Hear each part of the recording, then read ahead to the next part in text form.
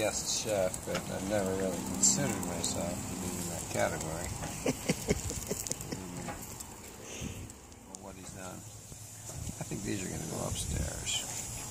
So I got a piece of fish I got to put on here. It's going to cook for quite some time.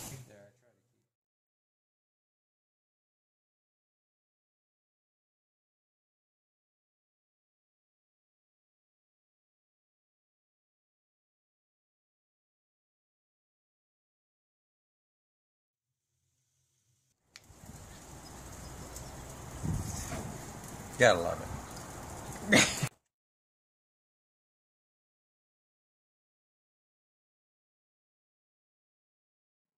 you have to char the board.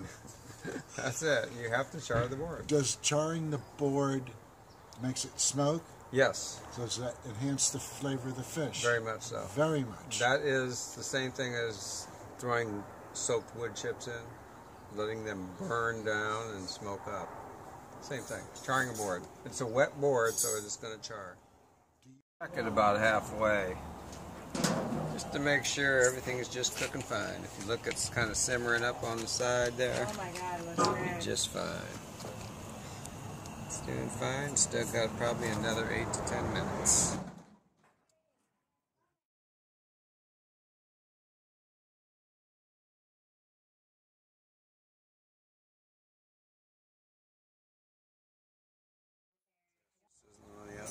Yep. That's all you need. Shrunk. Oh yeah, definitely.